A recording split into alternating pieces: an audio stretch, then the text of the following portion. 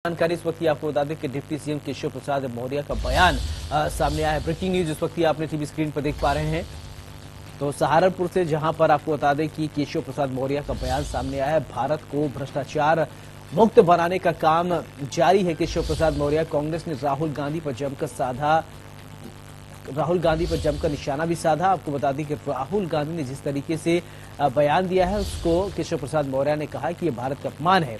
ये बड़ी जानकारी आपको बता दें, डिप्टी सीएम केशव प्रसाद मौर्य की बड़ा बयान सामने आया है। बड़ी जानकारी इस वक्त आपको बता दें कि डिप्टी सीएम केशव प्रसाद मौर्य ने बयान दिया है सहारनपुर में, जहाँ डिप्टी सीएम केशव प्रसाद मौर्य का बयान सामने आया है। उन्होंने कहा है कि भारत को भ्रष्टाचार मुक्त बनाने का काम लगातार जारी है।